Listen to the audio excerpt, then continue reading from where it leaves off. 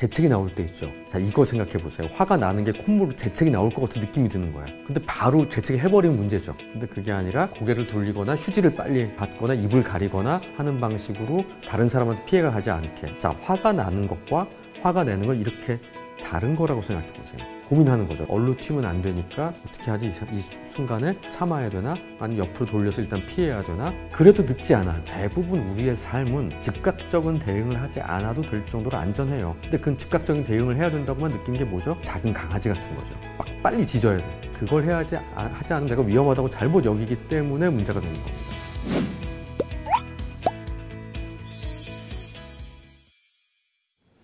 안녕하세요.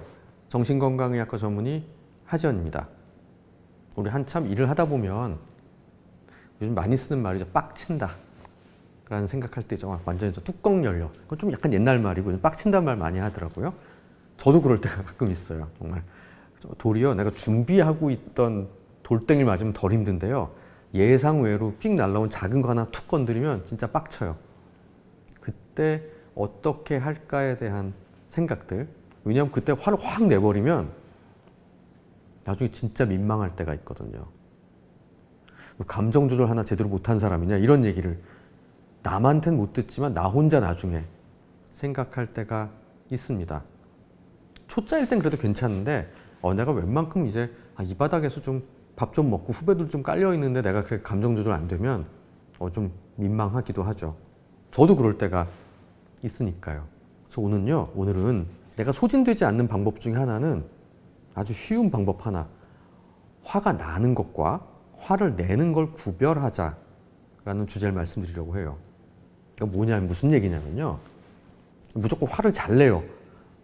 빡 금방 빡쳐요. 좀 사람이 이상해졌나 봐요. 이 얘기를 하기 전에 둘을 가르자는 거죠.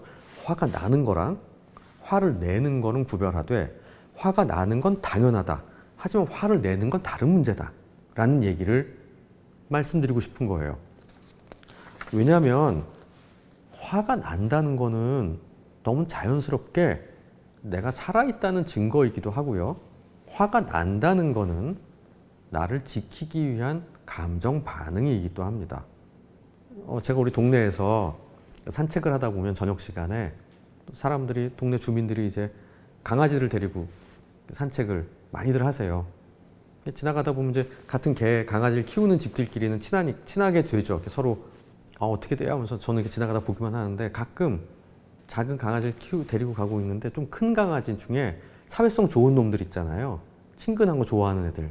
이런 애들이 오랜만에 보는 새로운 강아지에서 막 쫓, 자기가 끈을 끌고서 그 작은 강아지한테 갈 때가 있어요.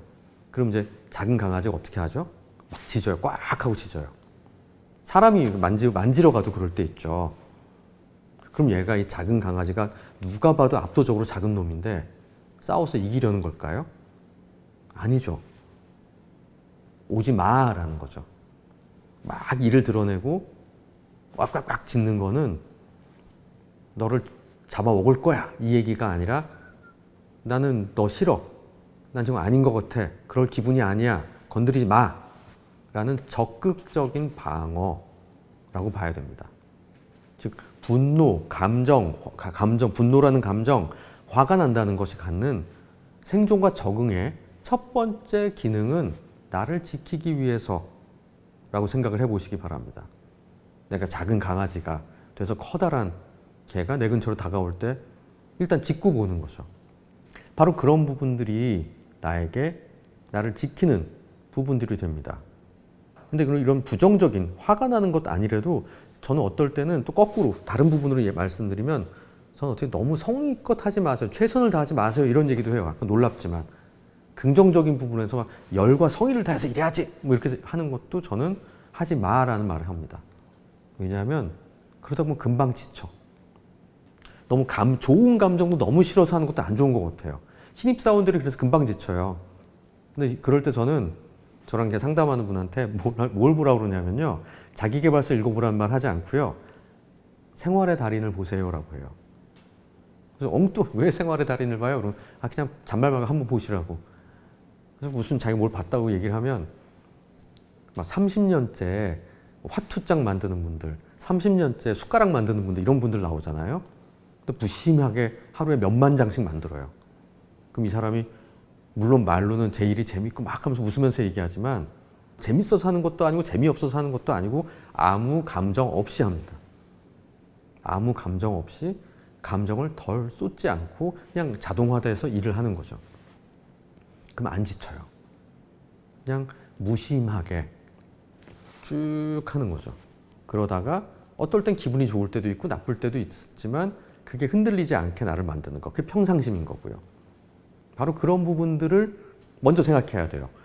즉 열과 성의를 다해서 일을 하자라는 말도 물론 좋은 말이지만 지치지 않기 위해서는 오래 일하기 위해서는 생활의 달인에 나오는 내지는 뭐 극한 직업 뭐 이런 프로그램 이렇게 보면 나오는 분들 같이 오랫동안 안 지치는 분의 특성을 제가 보면 아무 생각이 없는 거예요. 즉 아무 감정이 없는 멍한 채 하는 게 아니라 어떤 감정도 잘 싫지 않고 다만 물어보면 즐겁습니다 하는 거고 즐겁건 아니지만 일이니까요 라고 하시죠. 익숙하니까요.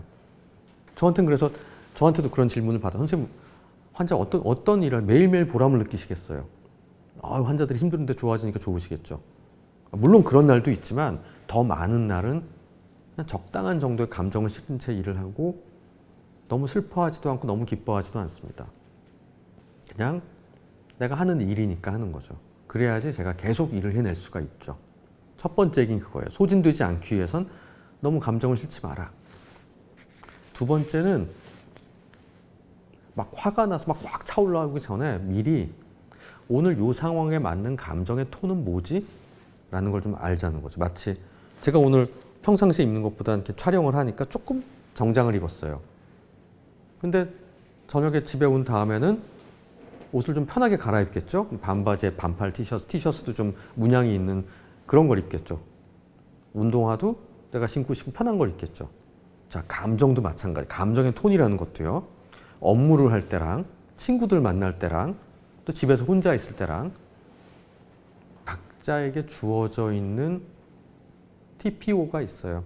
마치 time place occasion이라고 얘기 옷 입을 때 그렇게 하듯이 적당한 타이밍, 적당한 장소, 상황에 맞춰서 우리가 옷을 입고 꾸미고 다니듯이 내 감정도 적절한 톤이 있다는 겁니다.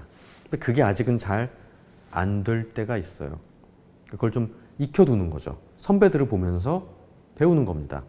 클라이언트를 만날 때, 또 10명, 20명의 회의를 할 때, 한 두세 명만 모여서 밥 먹, 얘기할 때, 또 밥을 먹으면서 얘기할 때, 또 혼자 친한 사람이랑 차 한잔 할 때는 각각의 감정의 톤들이 있어요. 약간 요구되는 톤들이 있거든요. 그게 뭔지를 배워야 돼요. 항상 흥이 많은 친구가 매번 흥이 많아도 문제고요. 약간 침울한 친구가 침울한 척 해도 안 좋아요. 그건 학습에 의해서 경험하면서 훈련하는 거다라고 생각해요. 타고난 건 없습니다. 그러다 보면 대략 내가 여기서 감정을 조금 나의 평소보다 높일지 약간 낮춰 low key로 가도 될지 이럴 때 내가 좀 살짝 신경을 많이 써줘야 될지 이런 부분들을 익히게 됩니다.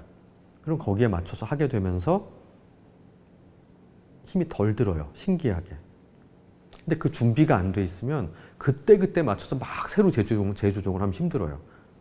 마치 카메라 세팅을 할 때, 어, 요런 상황이 이렇게 찍도록 내가 잘 세팅을 해놓으면 그거 딱 누르면 바로 되겠죠.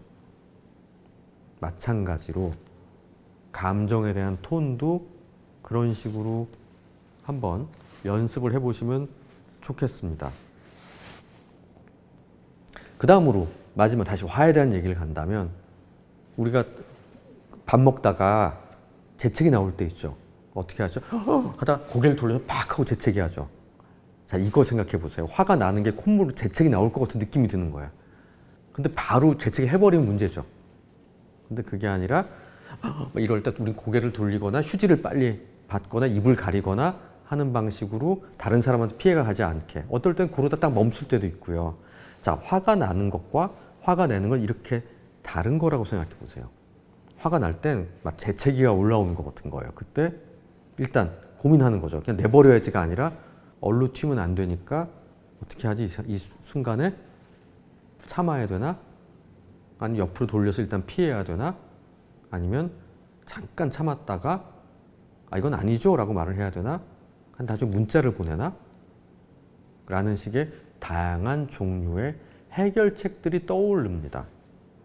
그래도 늦지 않아요. 그 생각을 할 정도의 시간. 저는 그걸 한 짧게는 15, 세 번, 길게는 반나절이라고 얘기합니다. 가끔 밤에 자기 전에 웬만하면 안 해야 되는데 꼭 하게 되는 것 중에 하나가 자기 전에 이메일 열어볼 때가 있어요. 핸드폰으로 누워가지고. 근데 그때 빡치는 이메일이 올 때가 있습니다. 막 너무너무 황당한. 그때 잠이 탁 깨잖아요. 그때 노트북을 열어서 막 분노의 이메일, 장문의 이메일을 보내면 10중 8구 후회하죠. 근데 그 사람도 잘 텐데. 근데 다음날 아침에 깨서 열어보면 굳이 그렇게까지 할 필요 없었다는 걸 알게 돼요. 그냥 어 알겠어. 뭐, 건조하게 다음 미팅 때 만나서 얘기합시다. 잘 뭐 누구누구 씨 의견은 잘 알았습니다. 끝. 그게 제일 건조하고 좋거든요. 만나서 얘기하면 되죠. 출근해서 얘기하면 되는 거고. 대부분 우리의 삶은 즉각적인 대응을 하지 않아도 될 정도로 안전해요. 근데 그 즉각적인 대응을 해야 된다고만 느끼는 게 뭐죠?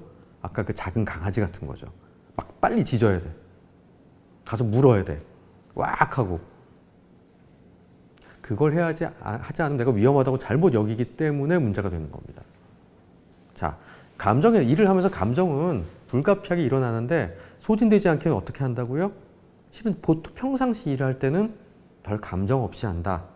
두 번째, 하지만 너무 감정 없이 막 지내면 로봇 같으니까 적절한 오피셜한 TPO에 맞는 감정의 톤을 좀 찾아보자. 몇 개, 필터들을. 세 번째, 화가 나는 것과 화가 내는 걸 구별하자. 화가 난다고 해서 내가 못난 사람이 아니다. 왜냐하면 살다 보면 화가 나는 건 불가피하기 때문에. 하지만 매번 화가 난다고 화를 내는 것만큼 바보는 없다. 후회할 일밖에 없어. 반나절, 아주 짧게는 1분에서 10분 정도 시간 지난다. 그래도 계속 뭔가 내가 대응해야 된다면 대응하는 게 맞다. 하지만 대부분의 경우는 반나절 정도 지나면 굳이 하면서 좀 더 현명하고 이성적인 판단을 하시게 될 겁니다. 많은 분들이. 자, 이렇게 일을 하는 과정에 생길 수 있는 감정의 영향과 적절한 표현에 대한 짧은 팁을 여러분들한테 드립니다. 이야기는 꾸준히 오래 지치지 않고 일을 할 수 있는 여러분들을 위한 제가 쓴 책 내용의 한 챕터이기도 한데요. 큰 도움이 되셨으면 좋겠습니다. 감사합니다.